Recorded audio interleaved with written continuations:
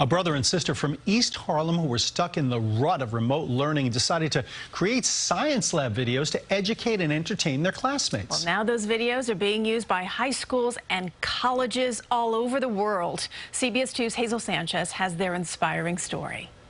Masked, gloves on, and tools at the ready, 17-year-old twins Jaya and Jay Kim are dissecting the boredom out of remote learning. Today we'll be looking at the anatomy of the red ocean perch. We do a lot of things together, done like science fair projects together, we, and like competitions together and things like that. So you have a really close relationship then, right?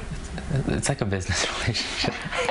The Kims, senior at Hunter College High School, have made it their business to breathe new life into biology classes after finding themselves and their classmates disconnecting from virtual science labs. You kind of had to like just uh, make do it like really blurry pictures on a slideshow. And I was like, that's clearly not really working out.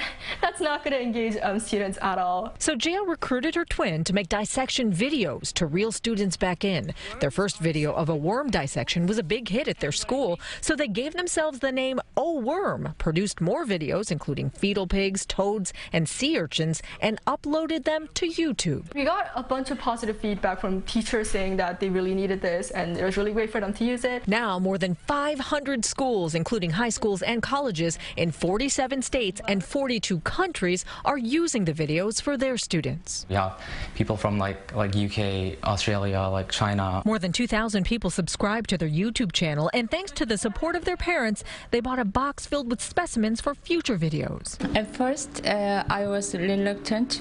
Now I'm very proud of how passionate they are. I think it's really great that there was a need and we were able to fill it. Filling a need without a profit, except for the reward of knowing they helped students love learning again. In East Harlem, Hazel Sanchez, CBS 2 News. And all with a camera phone and a ring light. Pretty cool. And they did all of that. It's Who knew amazing. worm dissection videos are a thing? Fascinating. Fascinating.